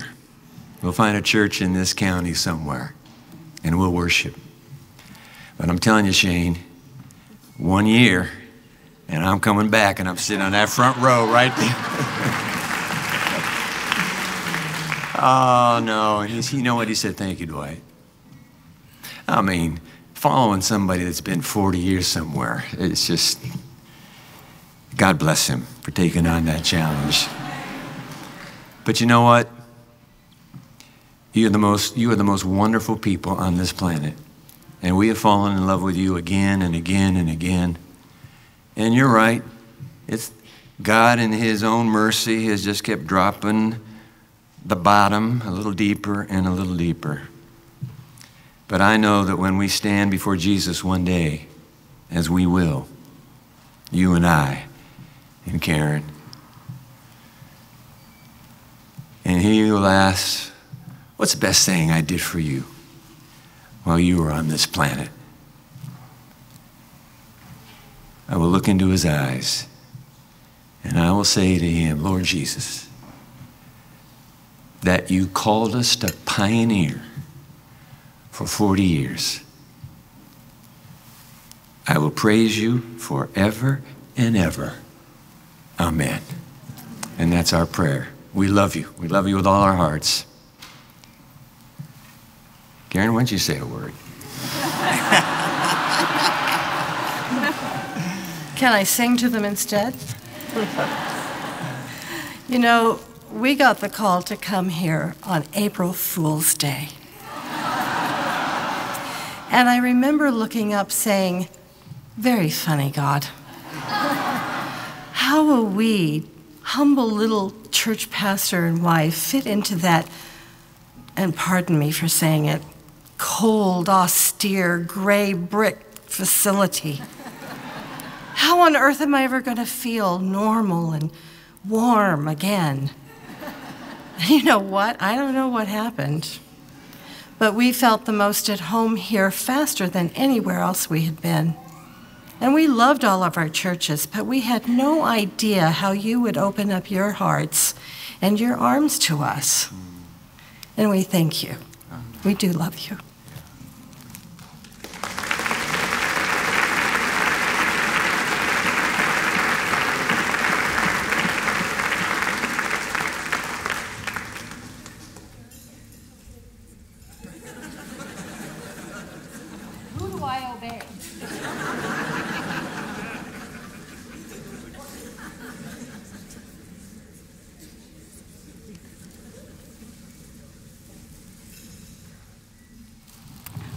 God, our help in ages past, for 40 years you have given us, through the ministry of this man, a new way to pray with a new understanding of how to walk and talk with you. a moving and deepening understanding of having you as our forever friend. Joy in the journey of dedicating and raising our next generations in the love and service of you. O God, for 40 years you have given us, through the ministry of this man, comfort for our sorrows and hope for our grief. A call to the power of Seventh day Adventist education and our obligation to provide it for our children. a mentor for hundreds, yea, thousands of pastors who you have taught through this, through your example. O God, for 40 years you have given us, through the ministry of this man, this great and beautiful house of worship that expands and improves to meet the needs of your people and enriches our experience with you. an always vigorous model for keeping the body temple fit to run the race. A sermon by sermon reminder of what it means to read widely, think deeply, and be subject to your word. O oh God, for 40 years you have given us through the ministry of this man a relentless encouragement to go, therefore, and share your message to the uttermost parts of the earth. The exalted experience of worshiping you with the richness of the past, the relevance of the moment, and the creativity of the Spirit. And through it all, a prophetic, persistent voice to speak the present truth with power to our place and our time. O God, our help, and God, our hope, we praise you for the gift of the ministry of this man, a legacy for years to come.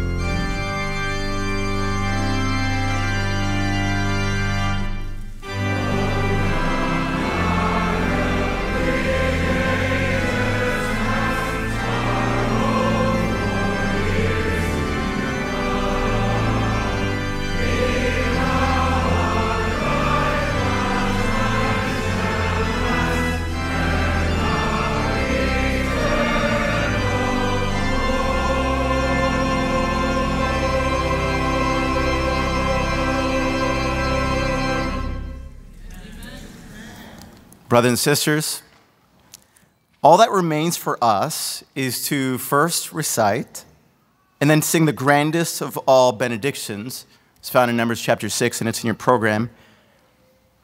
Let's recite it together. It's on page 10. The Bible says, The Lord bless you and keep you. The Lord make his face shine upon you and be gracious to you. The Lord turn his face to you, that give you peace. Amen.